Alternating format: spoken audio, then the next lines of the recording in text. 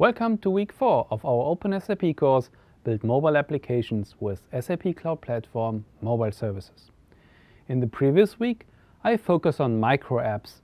In this week, I will talk about cross-platform native app development. Now, let's start with an introduction to the Mobile Development Kit. The challenge when building applications for multiple platforms at the same time is that it often results in bad user experience on both sides. On the other hand, it can be very expensive to build native applications for each platform. So we need a solution to solve this. And the solution we came up with is the Mobile Development Kit. The Mobile Development Kit is a cross-platform write once approach. So you write your application once and it runs natively on iOS and Android. This makes sure that you get a native user experience that is fast and reliable. At the same time, we try to bring in an approach that is as easy to maintain as possible. So we lowered the development part and created a low-code environment. At the same time, it, the apps that come out of the Mobile Development Kit should provide full offline functionality, as well as notifications and other native features. One requirement in enterprise software is that you often need to cope with changes. So the business or the users demand changes in your mobile application frequently. In order to avoid the full life cycle or going through the, the full life cycle of an application with deployment, signing the code app and distribution of the app, we tried to improve the life cycle with the mobile development kit to make it easy for you to roll out changes to the field. And of course, the mobile development kit applications are extensible via extension support. Mobile Development Kit contains three parts. The editor, this is where you build your Mobile Development Kit based application. You have two options here. One is the plugin we already know the, within the Web IDE, and the other is an extension to the Visual Studio Code editor that you can install on your local developer machine. The second part is the runtime. This is where the mobile development kit applications will be distributed from, as well where the client on the device will connect to, as usual. Here you have the features that you already know, like log upload, offline synchronization, and the like. On the client, for each application, there's a mobile development kit client. It's somehow the shell of the application that runs and executes the app that you built with the mobile development kit and what the user is actually using on the device. There are clients for Android and iOS, but they are using the same application and executing the same application at runtime. The architecture is very similar to what we have seen in mobile cards. We have the backend system, we do have mobile services, we have the edit uh, the design time in the web IDE. What comes here on top is that we need the so-called app update feature of the mobile services to store the actual application data and then distribute it to the clients on the devices. There are even more benefits of the mobile development kit. First of all, it can also run complex business lo logic locally on the device. That means if you are in offline mode, and want to execute local business object, you have a way doing so. The user will not get an HTML view that is rendered on a device like in a browser, which is usually used for cross-platform applications, but here the buttons and labels and everything, everything that you see on the screen are actual native device, uh, not device, but UI controls. The application can run in online and offline mode. The applications in the Mobile Development Kit are based on the native SDKs that we will discuss in week 5. But They feature the same look and feel than the native applications using the SAP Fiori look and feel um, that we see here on the screen as well. The extensibility of the mobile development kit allows you to include specific application features that have not been prepared by SAP. And obviously in an enterprise environment, the applications can be customized to adjust to be adjusted to the uh, various language requirements. Let's talk a little bit more about the extendability. The mobile development kit client that runs on the, on, on the uh, device as an application can be extended. So if your player, the client, needs to have a specific feature, you can add your own feature to the client, similar to uh, what the Apache Cordova framework, for instance, does with its plugins. Here, you write the extensions either in Swift for iOS or in NativeScript for Android and iOS at the same time. NativeScript is an open source platform for cross-platform app development and the mobile development kit sits on top of it. The extension control, that is basically a kind of a wrapper in the editor, will then reference the Swift classes and make sure that even in the web, edit, web IDE you can access the extension. In addition, the extensions can also access the actions, rules, and localized text from the app. But what, what this means in detail, we will explain later. On the client's side, which means the app on the device, needs to be built. Here we have two options. First, you can just download the generic player or the generic client from the App Store, from Apple or from Google Play. This is the generic SAP branded client that we usually use during development.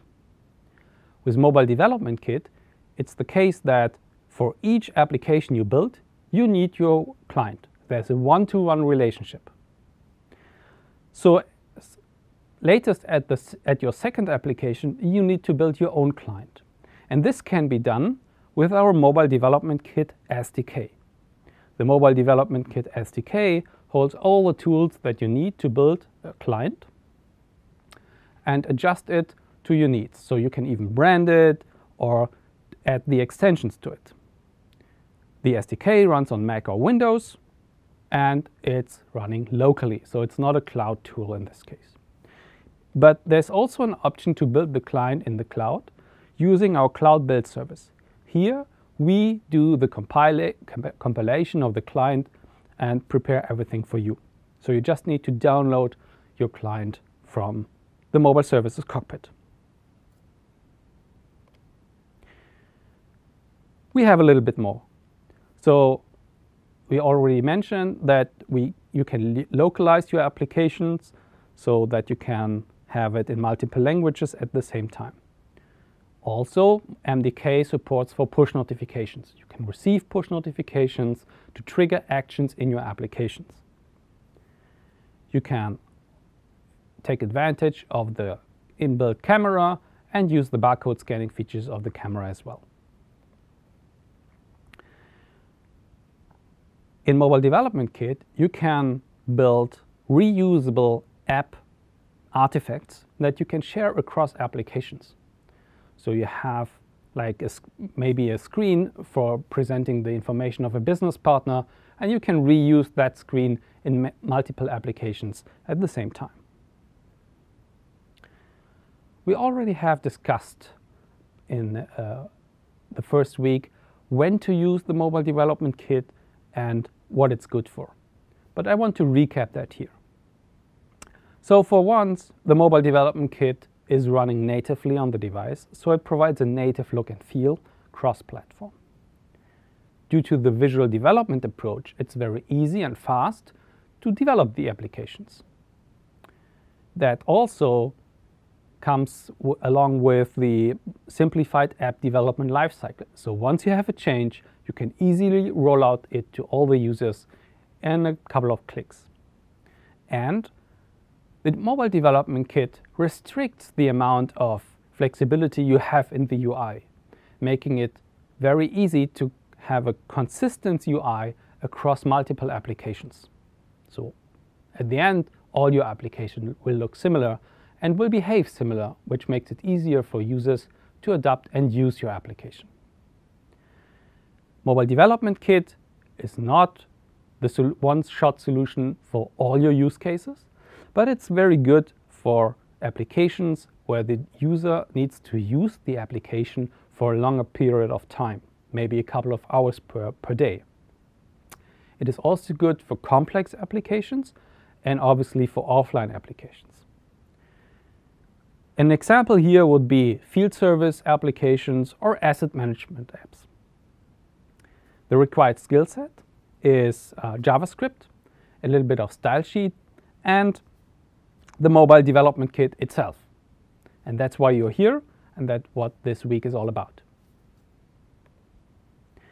By the way, there's one SAP application that we have uh, in the market. It's the SAP Asset Manager. The SAP Asset Manager is a work order management application for, with complete offline and also online features um, for mobile asset management. It provides, it leverages the features of the mobile development kit with the uh, improved lifecycle, with the offline and push notification, and it sits on top of S4HANA and so forth. So, how does it look like? What we will do here is I will show you the client uh, on the device and browse through the demo mode. The demo mode feature is something that you can also put into your client so that the user of your application can play around with some sample data before actually connecting to mobile services and starting the app for real. When I open the mobile services application, this is the client that we have in the App Store, you can click on the try the demo link to start the demo application. As you can see in the upper right corner, left hand corner, you'll see that I'm in the flight mode. But even here, the application is fully working. So I have the object header here, I see my customers, I can see the promotions and the catalog preview. If I click, for instance, on the Gaming Monster Pro, I can even edit the details and change it to tell that it's using Windows 10. Just saving it, the product has been updated, and I can just work like in any other application. You also see that the views are very nicely aligned. And all this has been done with the mobile development kit. Well, you can also opt out of the application and close the demo mode via the user page and just say reset all and you are back on the front. So in this unit, we have discussed the benefits of the mobile development kit. We have seen that there are three basic components, the editor, the runtime, and the client. We have discussed all the features, when to use, and we even looked at a real-world example of an application that you can buy from SAP um, to, if you have the need for. This concludes the first unit of week four. In the next unit, we will dive into developing with the Mobile Development Kit. Thanks for listening and hope to see you there.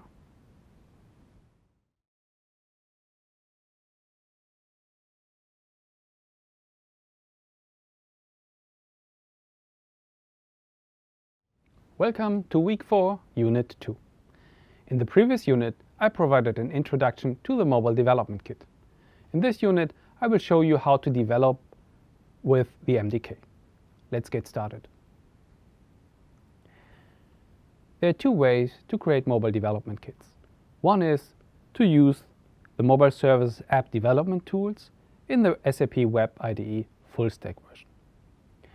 Here you have a layout designer, but no debugging capabilities. But it's still a very nice low-coding environment. The other option is to use Microsoft Visual Studio Code. Here we provide a plugin to Visual Studio Code that lets you develop mobile development kit applications as well as debug the application on your device. On the other hand, it does not provide a layout designer because Visual Studio Code is just, just a text editor. But it's a good environment for the actual developer who knows how JavaScript works and who knows how debugging works. The overall process from a top view is that before you actually start creating an MDK application, you would create the mobile services app configuration in the mobile services cockpit. Here you assign all the features that the MDK needs, configure the backend connectivity, the security, and so forth. Then you would switch to the Web IDE and create a project based on one of the templates that we provide. Then you would start actual development of the mobile development kit application. You would add new screens, add transitions from one screen to another, grab data from the backend, modify it, and so forth. At the end, you would deploy the developed application to mobile services with the deployment function of the mobile services tools within the Web IDE. The project templates we provide for building MDK-based applications are um, listed here. So we have a template that is a real empty template that really just contains the minimal amount of data that you need to create an application from scratch. We have a base application that at least connects to your backend. The list detail application template that we provide is already reading data from the backend and provides you the first screens already. Then we do have a template for full CRUD application. So create, read, update, and delete. Using that, you have a full offline application already generated for you that you can start with and develop on top of it. All templates do support online and offline as well as other features. The template basically will create a project structure for you, but it will also add the metadata. Metadata is the term that we need or that we're using to explain that the MDK is actually based on metadata and the metadata here describes how the app should look like, what kind of controls are arranged in what sequence, what the actions are, and what features you are uh, using in your application.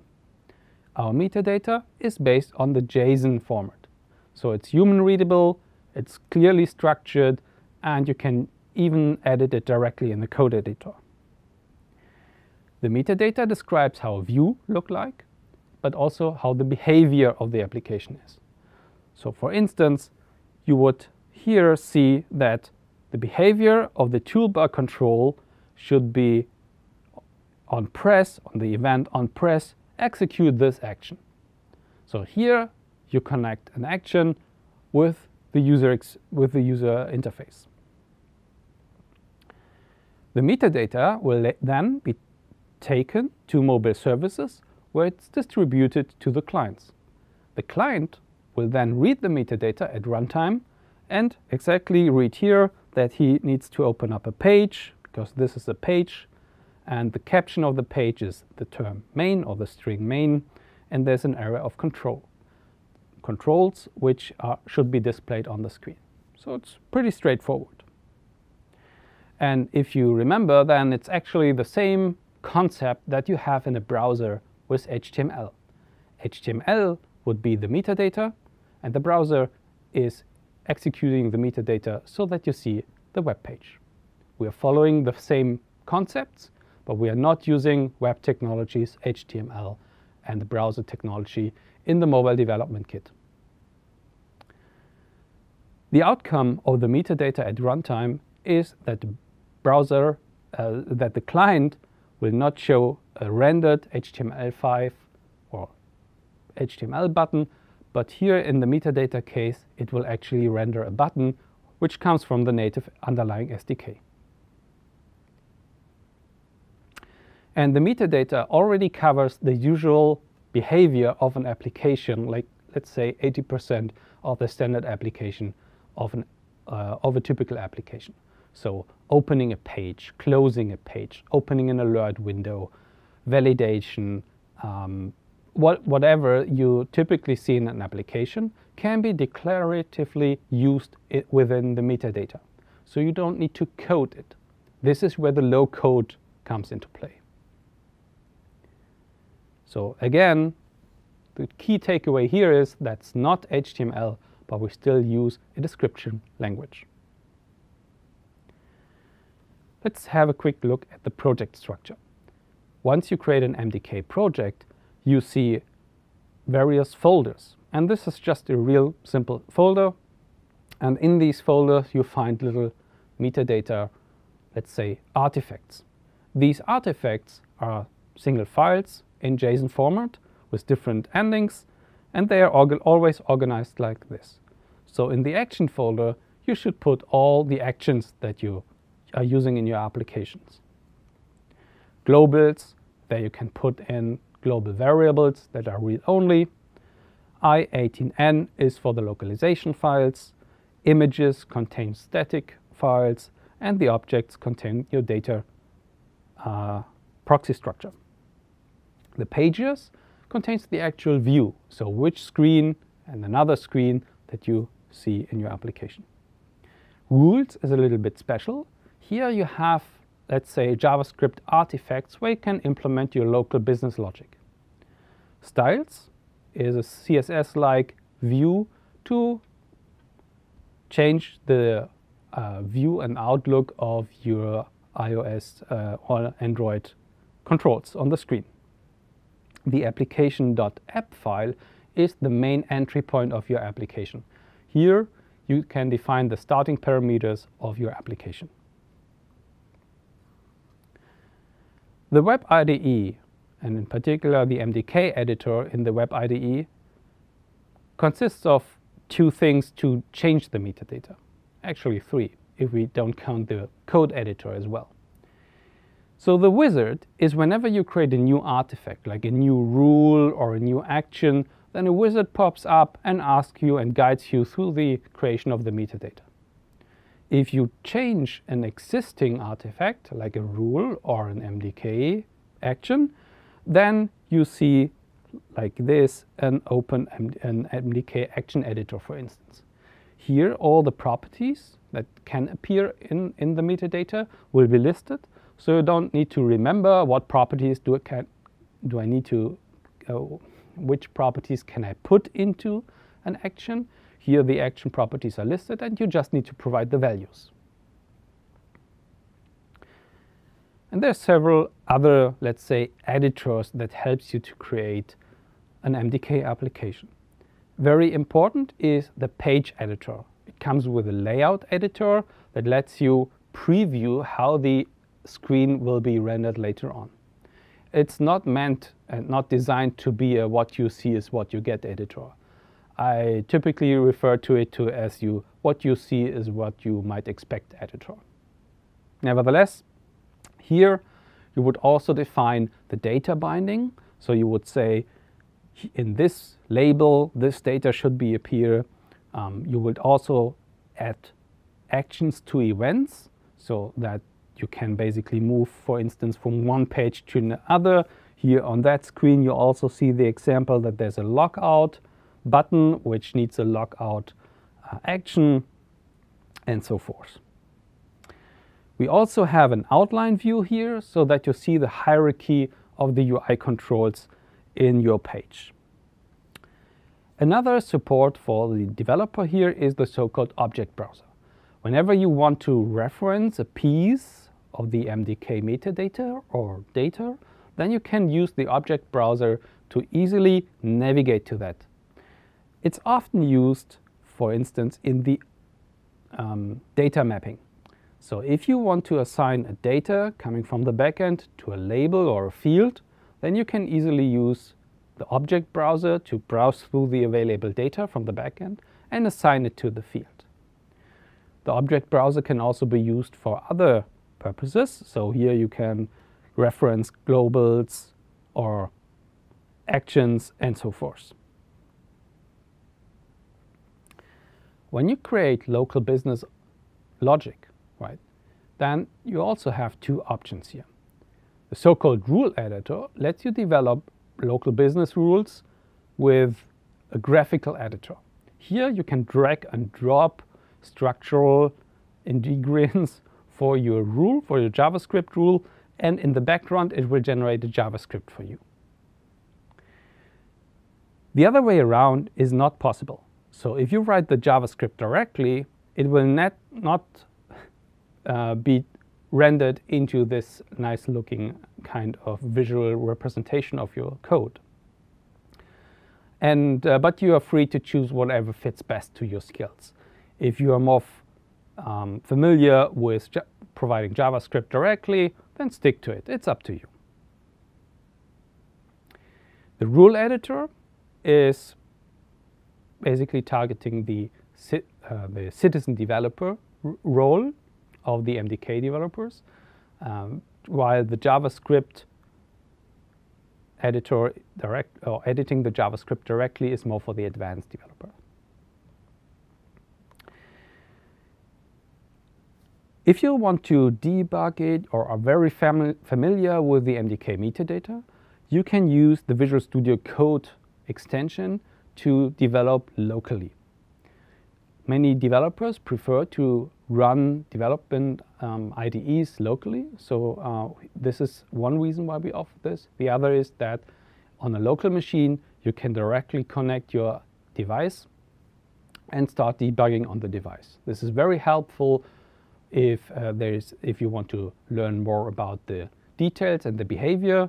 And with the Studio Code extension here, you can do that easily. One feature that the extension provides is that the editor, the code editor, is aware of the valid metadata. So it has full code, code completion and validation inbuilt. So let's do the hand-on. We will create the app configuration in mobile services first before we start actually creating the MDK application in the Web IDE. Then we will deploy the Web IDE application that we, that we built there into mobile services, start the client, and consume it from there. So in mobile services, as usual, I need to refresh my session. And in my account here, I don't have any application configured except the SAP mobile cards, which already comes pre-configured. But everything else here is empty. So what we will do now is create a, our first application.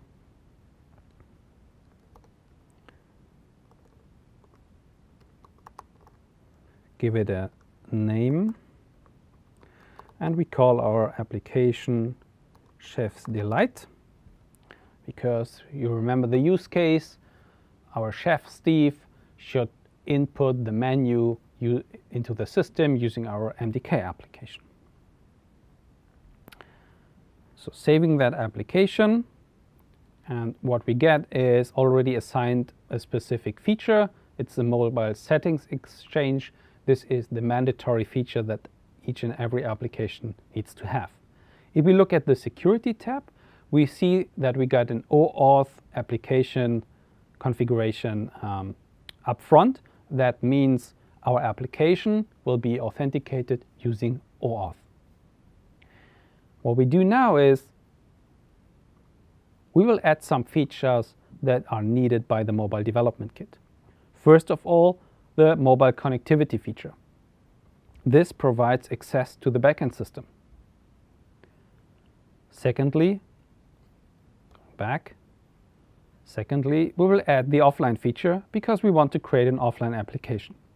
Steve is often on the go in, in the kitchen, you know, and needs to add the menu. We know that during the operation and runtime of the application, things can happen.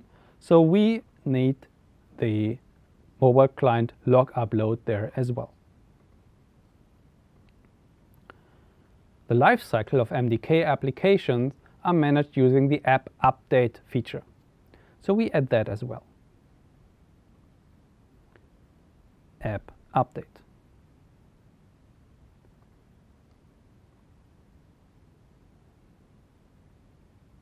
From a feature perspective, that should be enough for the moment. We can later add features when we have the need for.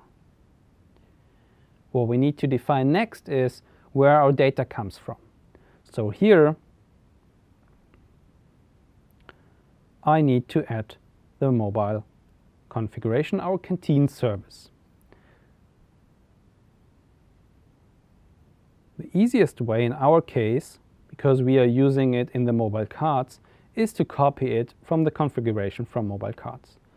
So here I go back to mobile cards, connect and connectivity, and I just copy, let's go here, I just copy that URL, close this, go back to my Chef's Delight, connectivity, and create a new destination. The destination name is very important and the first destination defaults to the name of the application, but we can give it any name. We keep it here with the defaults. A destination defines all the properties that are important to connect to the backend system. We have, can add custom headers here if the backend is expecting those. We can add annotations. Uh, we can, this is very important, define what security for the backend is being needed. Uh, here, the no authentic we take the no authentication option because our service is publicly available. Um, by the way, this is not a good recommendation for production. So anyhow, we use no authentication here during development. We don't have any specific key and trust stores for the HTTPS configuration and that's it already. So we can, if we sum, uh, do a summary, we edit the features, we define the connectivity, and we double check that we have the OAuth configuration for securing the user. Now we can go to the Web IDE and create a new project from scratch. New project from template, category mobile services. And here we find our mobile cards micro app. If we want to create a card from here, we can use just create a blank card from here and then deploy it later on to mobile services. We have the mobile OData service project here that we already discussed. And here are the four templates for the mobile development kit the base application, the empty, the list detail, and the CRUD application. The wizard here, Chef's Delight, will directly talk to mobile services and to the backend in order to get the data and receive the metadata of the backend service. So here we tell our template pr project wizard which destination it should connect to. First of all, to which mobile services instance it should connect. In this case, it's mobile services underscore CF for Cloud Foundry. Then it connects to my Cloud Foundry instance and asks to which application. And we have two, right? One for the mobile cards, uh, but this is com.sap.open.mobile. And then each application can have multiple destinations. We just have one, and it defaults to the name of the application ID, so it's pretty simple. We need to give our local service a name, and we call it canteen service. Here is the button that allows us to create an online or full offline application and you see that offline is the default so we keep it. If I click the check button the wizard here will connect to mobile services, retrieves the metadata and checks for consistency. We are lucky because successfully retrieved service metadata, we can go to the next step. Now, since the wizard does understand what is the data source, we can select from our menu set, from our canteen set, and what we want to see on the first page of our application is a list of canteens to which Steve wants to add a menu. So we choose the canteen set. These are titles, subhead descriptions, labels on our uh, list. And let's change the title to name and the subhead to ID and click next. Here we can customize our template and for instance just ask for the top five first uh, canteens so that the list is not too long. We can also add other page properties or change the list of the pages that will be generated. Let's stick to the defaults so far. Now we can add offline synchronization features. What we want to do here is we want to make sure that Steve can access all the data that he needs also in offline mode. But we don't need all of the data that the service provides.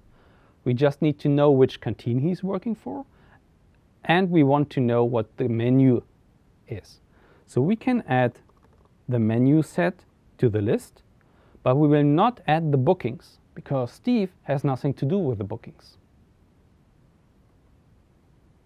That's the information that the wizard needs to generate the project.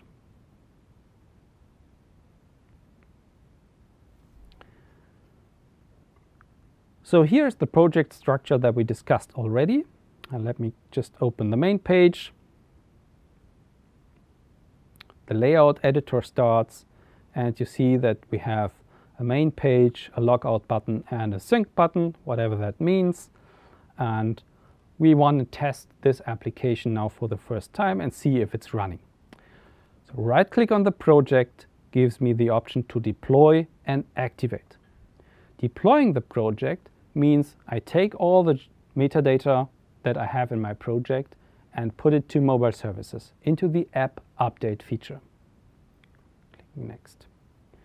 Here again, I need to tell the web IDE where to deploy it to.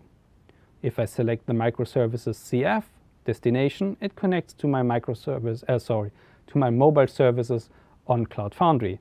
And here I need to select the card or the mobile application, the MDK application. And obviously we need to choose the com.sap.open.mobile.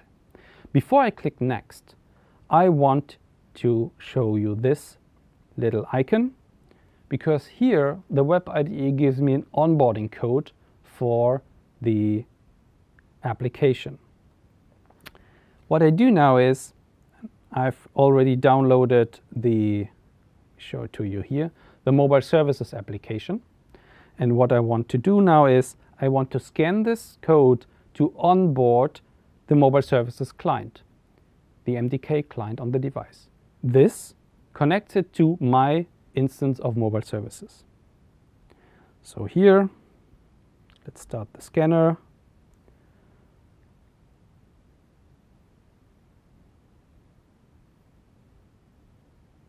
Scan it. And this is the onboarding screen of the mobile services client. Now I click Start and it connects to Cloud Foundry and asks for my credentials.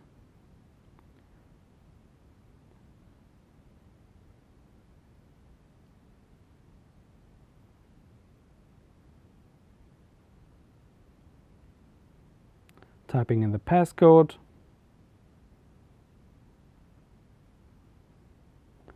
And if I'm not mistaken, it should log on now. and provide me the end user license agreement, which is part of the client. I agree to it, and I need to choose a passcode. Because this is the default policy when I create a new app on mobile services. You can turn that on later on, on or off.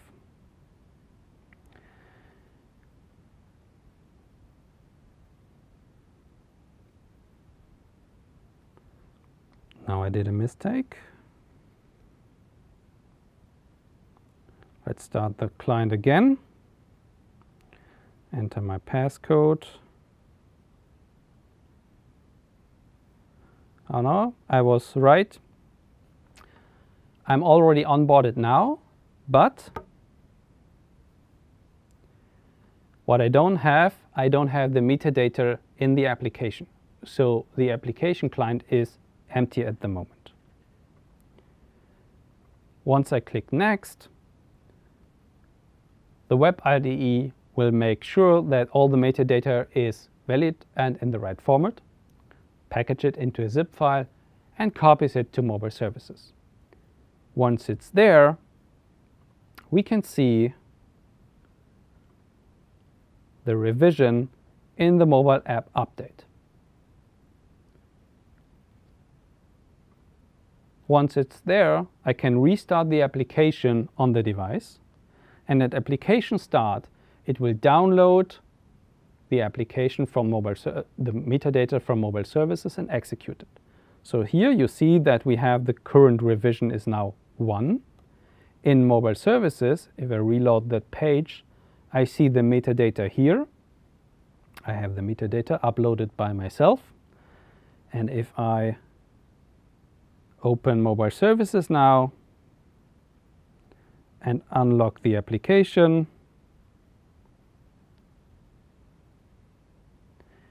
It will ask me to confirm the update, which I do. Download the data. Application service initialized. And I have a complete offline application here. I can even edit the data and update the canteen. I won't do that now, but that's it.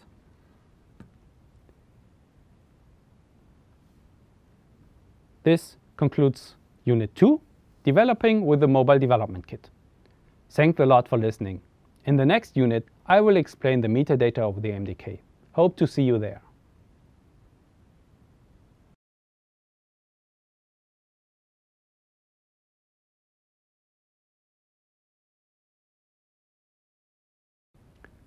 Welcome to week 4, unit 3. In the previous unit, we discussed the development flow of the mobile development kit. In this unit, I will explain the metadata of the MDK. Let's get started. Before we actually dive into the metadata, let's quickly discuss the client again. The MDK client executes the metadata that we provide using the mobile services. The client is available for iOS and Android. The client runs the metadata, the same metadata, on each device platform and executes it there and provides the appropriate screens and user experience on the respective platform. It's important to understand that we don't use HTML rendering technology here, but instead the metadata will be executed and native UI controls will be rendered on the screen.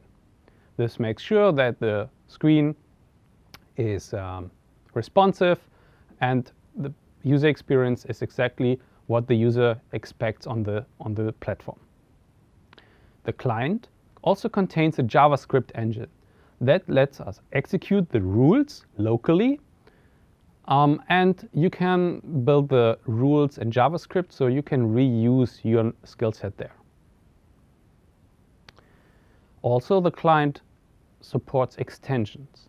So you can provide extensions to the client and rebuild the client and recompile the client locally to make sure that it provides the feature set that you are want that you want to bring to the user. Also, it's important to understand that each client runs exactly one version of the metadata. So one application that you build in the Web IDE needs its own client on the device. So at the end, on the home screen, you will have multiple clients for your multiple applications. The client also supports branding. That means you can change the home screen icon of your client, you can change um, the colors and build it for your corporate identity, and you can definitely sign your client. So this is also important for supporting push notifications. The metadata is structured in a project. Each project contains multiple folders and the folders contain um, metadata artifacts. So here on the right hand side we see the typical project structure of an MDK application. The folders help you to find and structure your metadata artifacts so that, for instance, all the actions are in the Actions folder and all the pages are in the Page folders. The default folder structure is actually not mandatory and you can, for instance, create subfolders for pages to further structure your project and make sure that you can navigate easily in your project. One important thing is the application.app file. This one is the starting point of your application and here you define global behavior of the app itself, for instance, which rules and actions should be executed at the beginning of the application or if the application goes into the background state. The files, the metadata artifacts, have suffixes in the file names to make sure that you can easily distinguish between the, the different file types. So action, for instance, is the file suffix .action. For rules, it's rule, page is .page, and global is .global. I think that's pretty straightforward. Knowing the metadata itself is quite important for advanced tasks. You can create a fully working operational CRUD kind of application without even knowing the metadata, but it helps to further enhance the application and adjust it to your needs. Here on the right hand side you see a typical example of the metadata of the MDK. It's a JSON file, it has properties and values. The metadata can be created in many ways. One, for instance, is in the editor. That means um, by hand or using the uh, wizards uh, that we already discussed. We will change the metadata in the various editors. Then we will distribute them to mobile services. And at the end, they will be executed in the client. Each metadata object has a name and a type. They are these properties are identified via underscore name and underscore type. It's a recommendation to provide meaningful names because you will reference your artifacts throughout your application. For instance, a page could be referenced by, will be referenced by its name, so it's important to give meaningful names here. Speaking of pages, so a page defines a view. And there are actually two kinds of view that we distinguish in the MDK, so-called section page and a form cell page. The section page is used for lists and other, let's say, showing um, lists of, of items that you want to show, while the form cell page is for data entry. So here you would provide links and uh, fields and values to change and edit or update or even create new objects. The section page is basically for all other pages. Each page, from a metadata point of view, contains uh, an, an property called controls, and this property is an array, and the array contains a list of metadata object artifacts. So here, for instance, we see a page with the array of controls on the right-hand side. And one UI type in that control array is the control type toolbar item.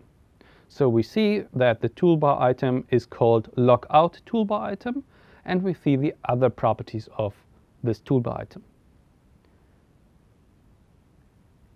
There are two ways to modify the metadata.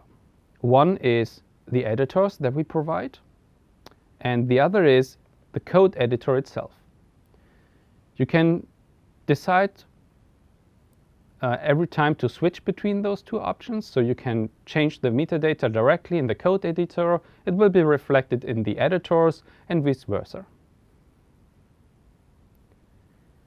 Once you're done with changing your metadata, you need to instantiate or start the build process. The build process for the metadata is not comparable to the build process of compiling a native application. What we're doing during the build process is we will validate the whole metadata in your project for consistency and uh, syntax checks.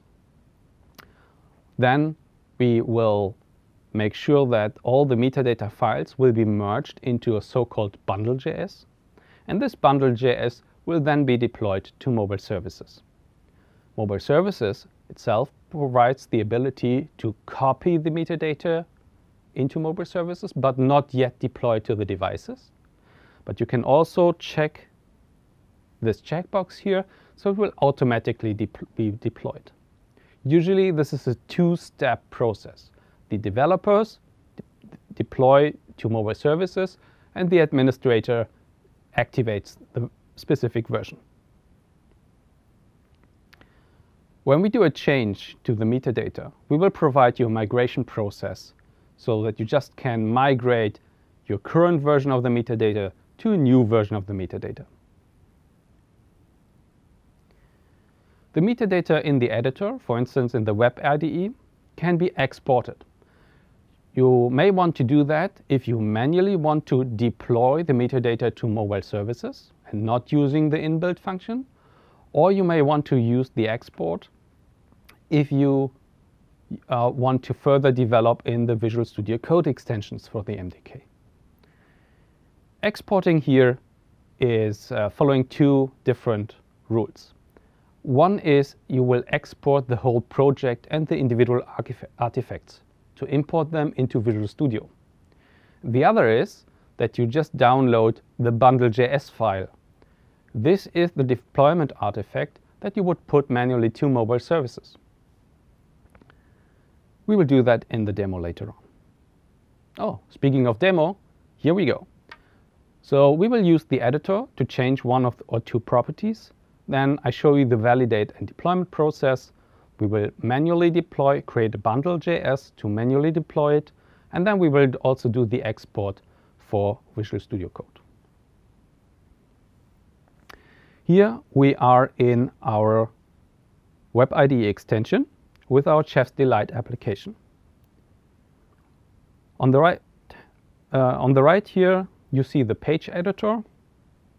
And I can, for instance, change the caption using the editor and the properties here. Let's say Chef's Delight. So you see that the changes in the caption were reflected in the layout editor. I can save that. But I can also right click on the main page and open the code editor for it. Here we also see the same property, Chef's Delight. And I can, for instance, say, change that to Welcome to Chef's Delight. Saving that and going back to the editor of the page shows you that the code changes will also be reflected in the editor. So there are two things to export, two ways to export it. For Visual Studio Code export, for instance, I would just export the whole project. So right-clicking on the project, clicking Export, will download the whole zip file to my desktop. While if I want to create a bundle deployment, I need to right click and click on MDK deploy and activate. Before I do that, I can also manually validate. This will create a code check or start a code check. Here the metadata, validation is completed. So I'm fully okay with starting the deployment process. To create the bundle.js file, I can check tick, tick this checkbox, download bundle to local machine, which after the bundle.js has been created, downloads, starts the download to my local machine. Uploading the bundle means I take the bundle.js and put it to mobile services. And depending on what I, if I need it for further debugging, I can also include the source map for the debugging. So in this case, I just want to download this, the bundle.js, and click Next. So now you see that the task, the build has been started, and you will also mention that there will be a no, new project in your workspace, which is the MDK Webpack Factory. This is a, let's say, temporary working directory where we take all the assets of your project and create this bundle.js file at the very end. This is a really a temporary project, or let's say a folder. And depending on if it's up to date or not, it takes, it takes a time for the first time to be created. You see that here are some uh, node dependency being installed that's important for the build process. You can delete the Webpack factory anytime, but then it will be uh, recreated uh, on the next build process. So I have downloaded the project already. So here I will extract it. And this folder I will now open in Visual Studio Code. In Visual Studio Code, I have already installed the extension called mobile mobile development kit MDK 1.7 and just by clicking on install you will install the MDK extension into your Visual Studio Code.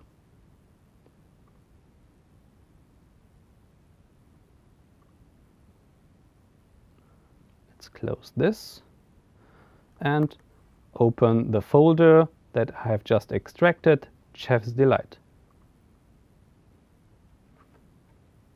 On the left-hand side, I do see the same project st structure that we had in the web IDE, and I can see that I have a main page, and if I open it, we see the welcome to Chef's Delight application. See there's a space, can delete that. And what I can do here I can, for instance, add a section by adding a new control.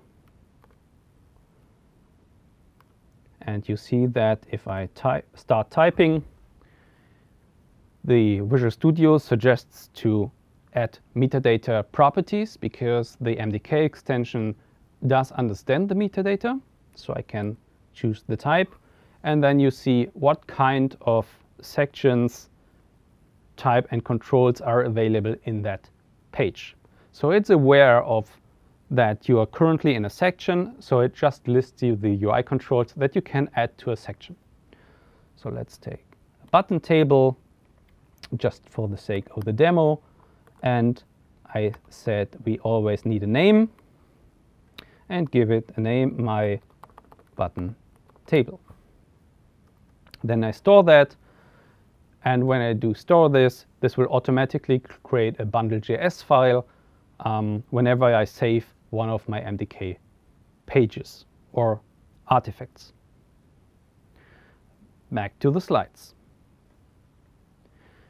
If you want to learn more about this, we have a interesting help page that helps you to get more information about the mobile development kit. So in this unit, we have discussed the metadata and the concepts and how the metadata is being handled in the various editors. And we also have discussed the project structure and the handling of projects. This concludes Unit 3, explaining the metadata of the Mobile Development Kit. Thanks a lot for listening. The upcoming unit is Building Rules for Mobile Development Kit Apps. I hope you, to see you there.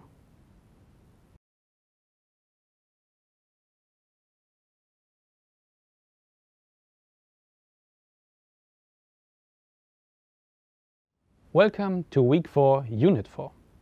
In the previous unit, I explained the metadata of the MDK.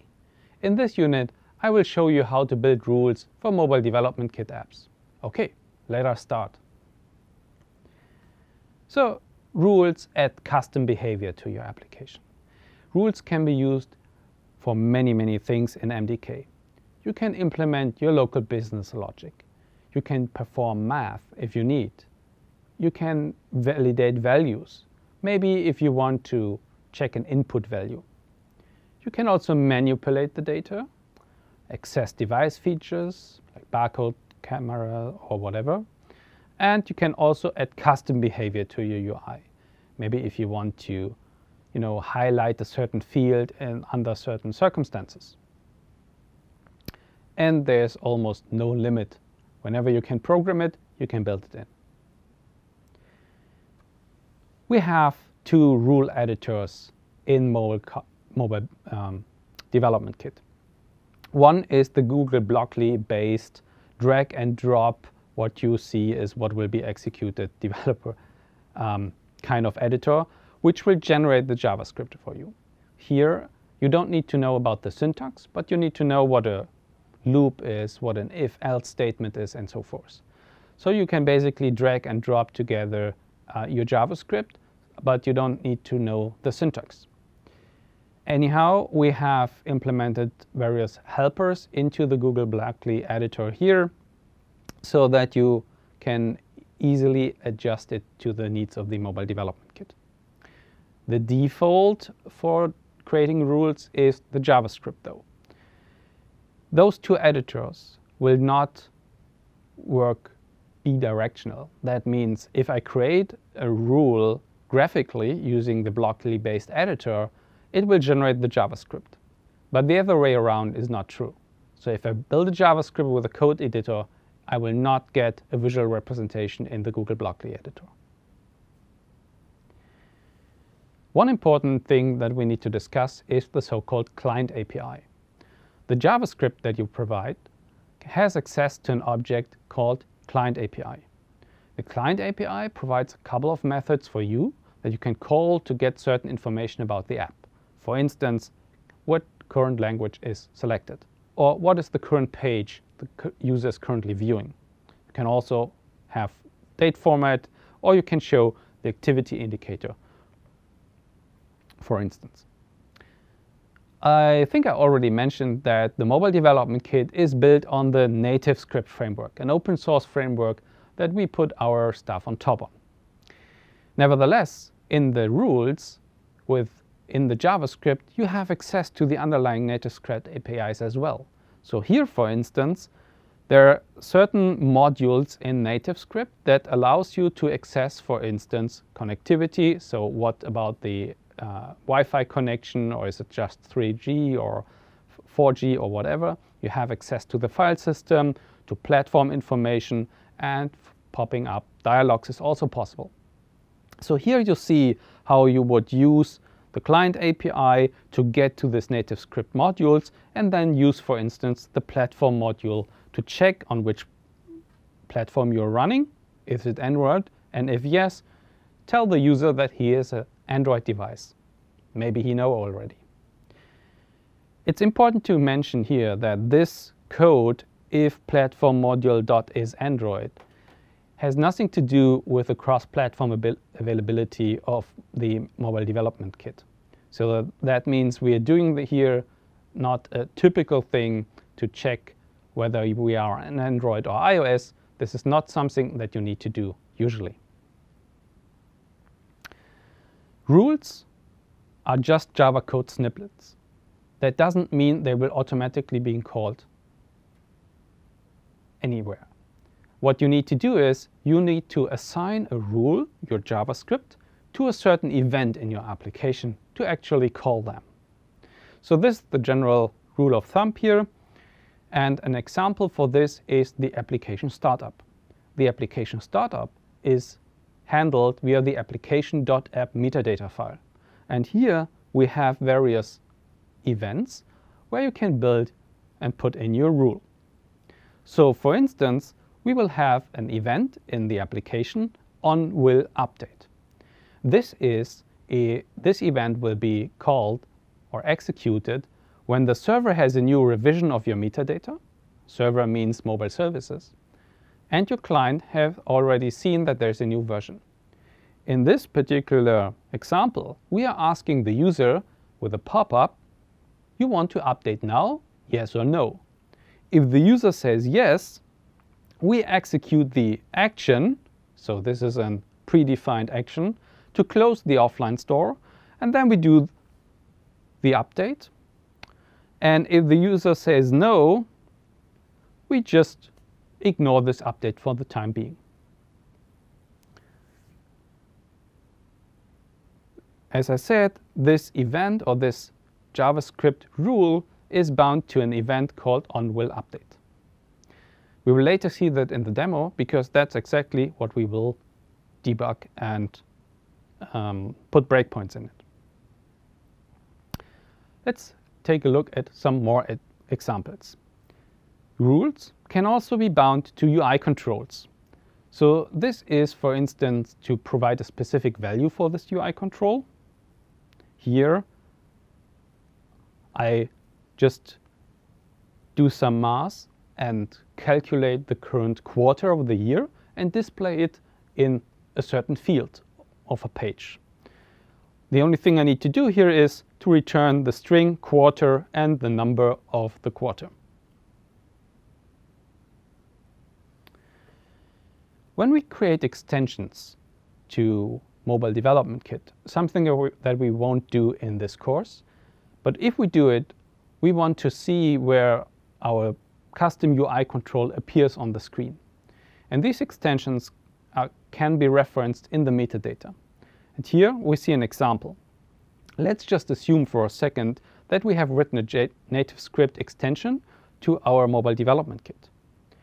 This, on the one hand side, requires that we rebuild the mobile development kit client, which includes then the extension.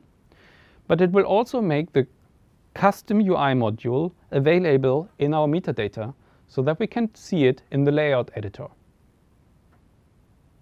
Let's start the demo of how to debug in Visual Studio Code. I have prepared already a mobile development client locally on my developer machine. I also have connected my device to my local Mac in this case. And I also included the metadata from our web IDE into my Visual Studio project. On the right-hand side, you see the screen of my device.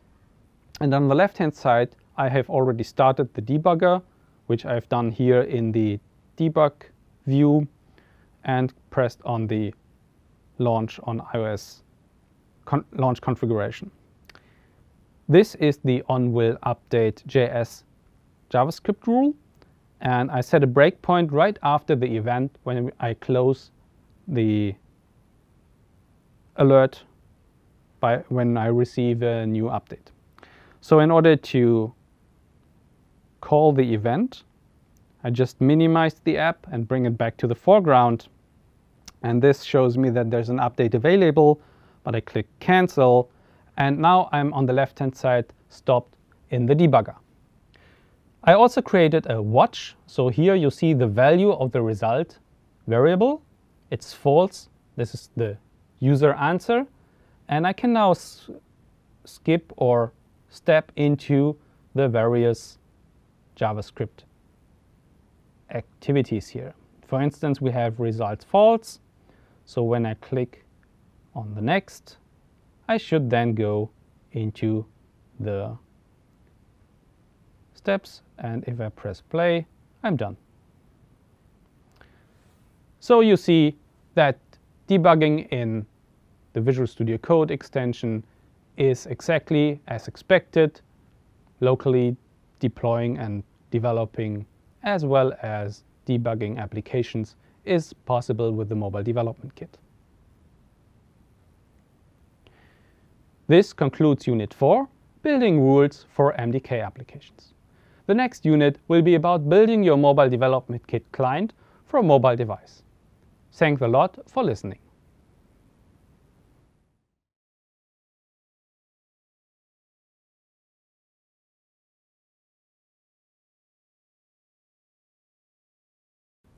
Welcome to week 4, unit 5. In the previous unit, I showed you how to build rules for MDK apps. In this unit, we will build an MDK client for a mobile device. Let's go. Building the client is very important during your development as well as for the rollout. The MDK client that we provide using the public app stores are not meant for being used in productive environments. They have been designed for demo purposes and learning, learning purposes as well. Actually, for distributing to your users, you need to build your own custom MDK client. This enables a lot of opportunities to you. You can provide your own app icon that you will see on the home screen. You will be able to, or actually you need to provide your own signing profiles for iOS, you distribute custom extensions if you want to extend beyond the capabilities of the existing MDK. You can adjust and provide end-user license texts and add static assets to the application as well. One important feature as well is the so-called demo mode. So if you want to distribute your application and providing the option for the user to start locally a demo mode of your application without even actually connecting to any system, then this is the right way doing so. Customizing languages eh, for, for the onboarding screens, is also possible. And for using your own distribution channels, for instance, enterprise application uh, distribution stores, then you need your own client anyhow. You will build the MDK client using the Mobile Development Kit SDK. You can easily download the SDK to your developer machine, and then you have full control over the build process. This is also mandatory if you want to debug mobile applications built on the MDK. The steps are very similar, simple. You download it and you need to install the prerequisites. The MDK comes with an application that helps you to check your local machine for the prerequisites. For instance, you need a Node.js installed and the NativeScript environment. So this setup routine will make sure that you all have all these prerequisites in place and you're ready to go easily. Once you have done completely installed the SDK, you would create your local project. And for each project, and each MDK client, you would create your dedicated settings and a so-called folder. In that case, adjust the parameters that you want to need, uh, put into your client, and then you would build the client. There's another way doing so with a lot less options. Anyhow, it's very convenient. With mobile services comes a cloud build service. This cloud build service allows you to create MDK applications, in this case clients, as you can see here on the right hand side, directly from within the cloud. There's no need to install any local artifacts on your local machine. Um, but on the other side, on the downside, so to say, you cannot adjust all of the features that are available in the Mobile Development Kit SDK. But here you can see, for instance, that you can provide the app name and also a logo, a, a logo and, and, and, a device icon. And then you would initiate the build from within the web browser here. You will get the ability to download the IPA file afterwards and distribute to your testers, um, maybe even using the app lab. The App Lab is another feature of the mobile services and it helps you to distribute your apps to your test users. When the application, so the actual client, starts the very first time, the user needs to onboard it. In order to do so, and in order to tell the client to which instance of mobile services it should connect to, it needs some URLs and other security configurations to find the right instance. There are a couple of ways to provide these onboarding installation information. One is to provide it hard-coded, and the other one is to create a schema, a link that the, where the app takes the information from. Initiating the onboarding process includes the startup parameters we just discussed, and then the user will be taken to the authentication. After that has been done successfully, he can or cannot accept the EULA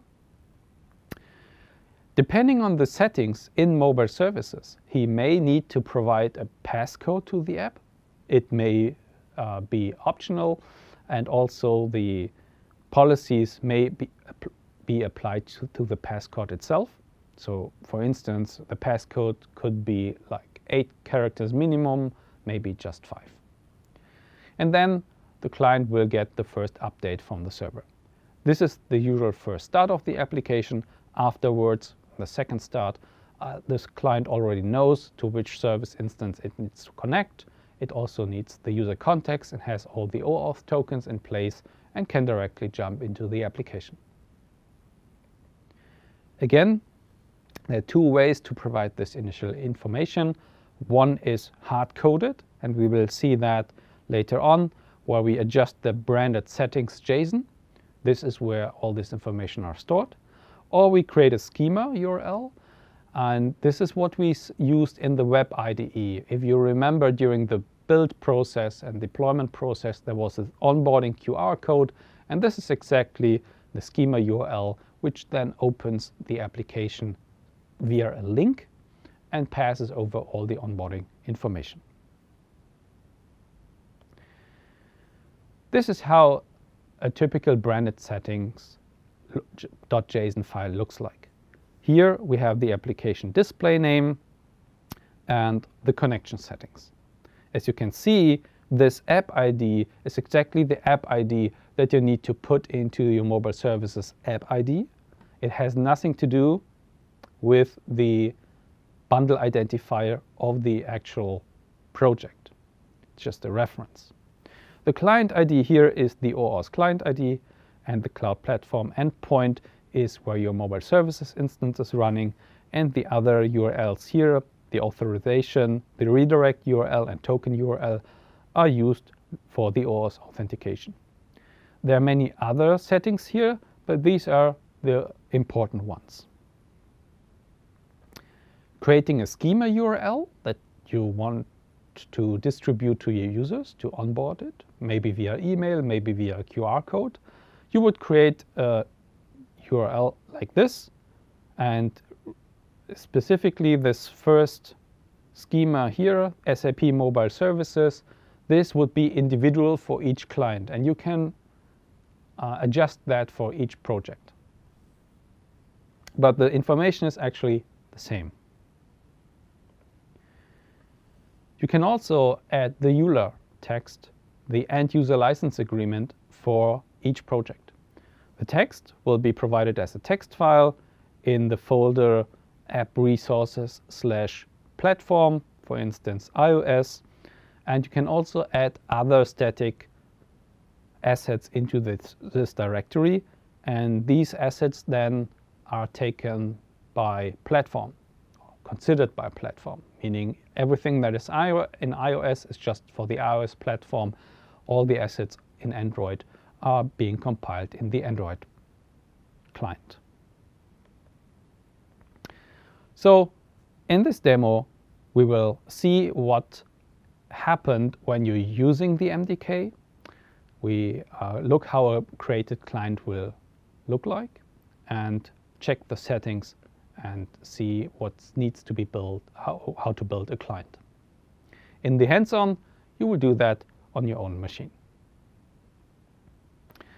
So here in the Visual Studio Code, I have opened the MDK Client SDK folder, and I quickly want to discuss with you what we have here.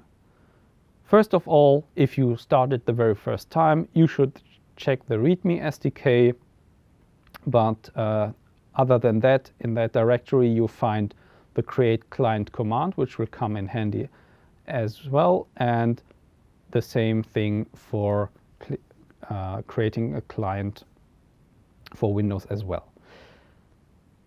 Important folders here is the so-called uh, template.mdk project. This is where you would create an MDK project for each of your clients. You would copy that and create a your application name .mdk project out of this. So here let's check and compare it. The template create has, um, for instance, a folder for the metadata. Here it's empty, but you would then add your metadata, your initial metadata to the application.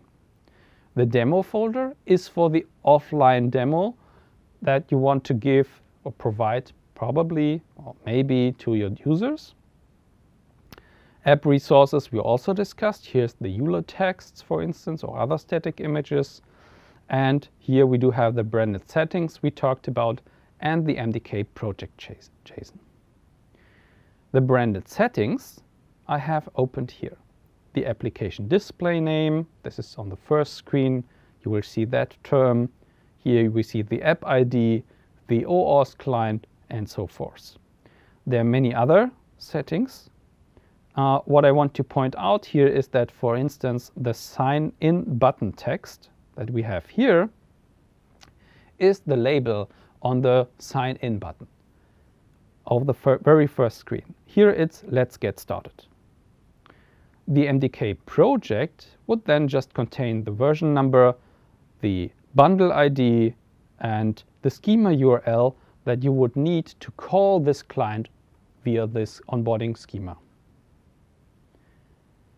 Once I do have this, I would issue the start and execute the create client command that will end up in a directory which is just the project name without the .mdk project. This is the actual project. Here you find, for instance, under platforms, the iOS Xcode project. If this would be generated for Android as well, you would have two folders within the platforms. One is iOS, one would be Android. One thing I want to show you as well. All these connection settings you can get from the mobile services client cockpit. So if we go back here and again log in into the mobile services cockpit, you can navigate to your application, Chef's Delight, and under APIs, you will see the OAuth, the OAuth authorization link, the OAuth token, and the server link. These you need to copy and put into the branded settings.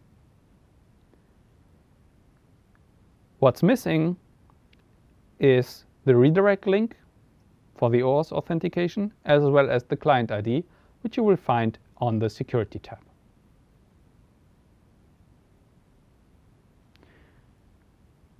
This concludes Unit 5, Building your MDK client for a mobile device. In the next unit, we will discuss styling Mobile Development Kit apps. Thanks and hope to see you there.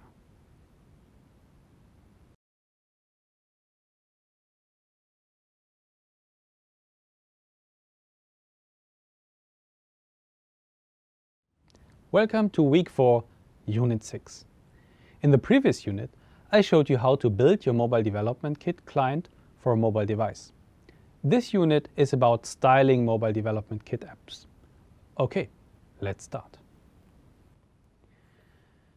So the mobile development kit offers a couple of options to adjust the appearance of the application itself. The app icon.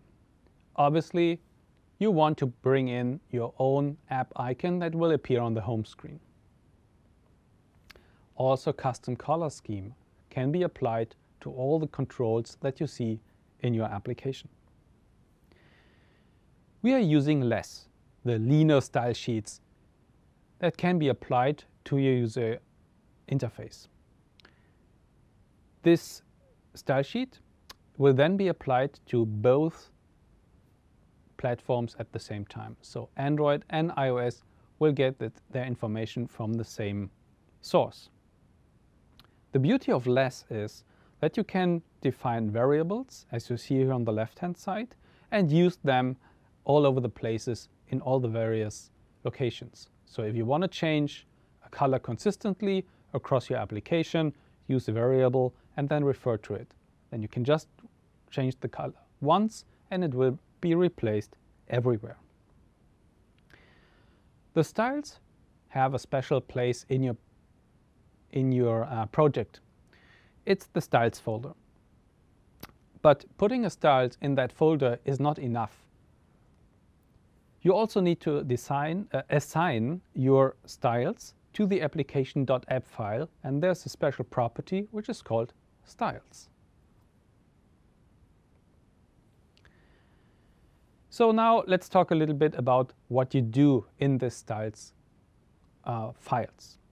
There are two ways of, of assigning a class, so a set of configuration and colors and, and behavior to a control, declaratively or programmatically. For example, you can write JavaScript code and this will apply a style on a certain user, user uh, control. a class is defined by dot name of the class, and then you list the properties that you want to apply to that class. So here we have a button on the left-hand side, and we give it the class name, some class, and on the right-hand side you see the same, but doing this via a rule. On the top right, you see the definition of the class, color, background color. Here we use the variable we talked before. So this is the class definition and you can statically put that into the metadata of that particular button to have the color assigned or you can use the rule.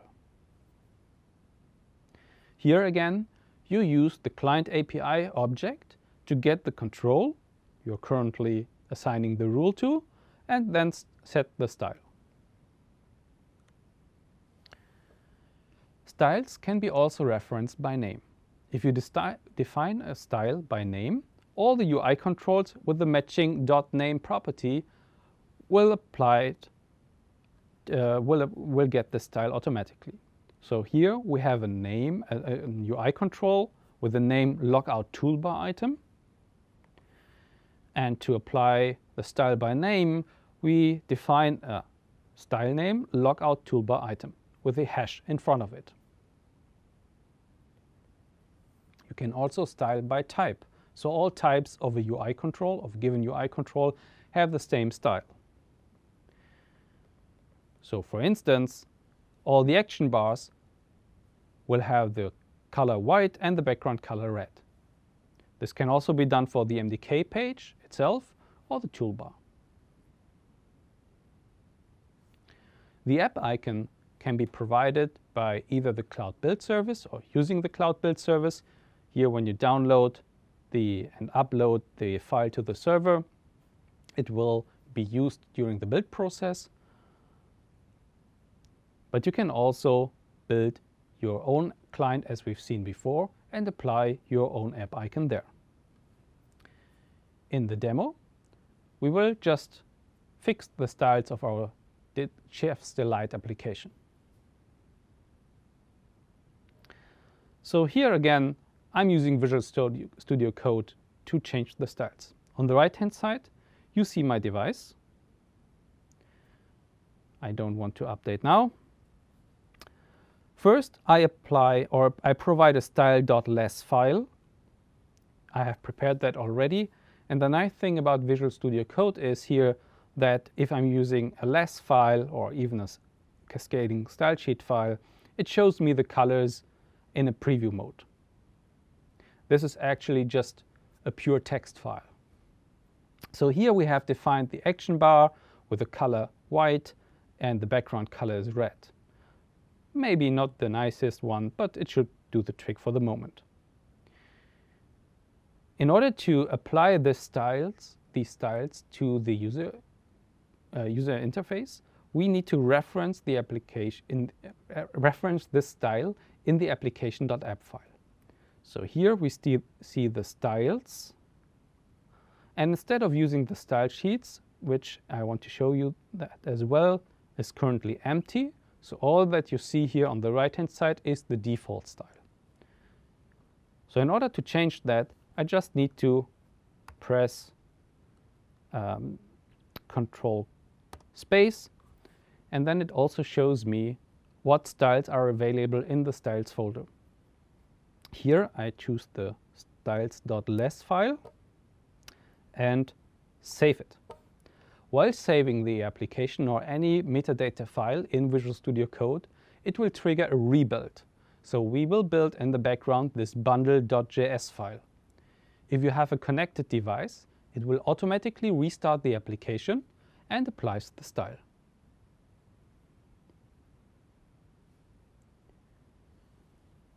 So in this week, we have seen and discussed the mobile development kit in general.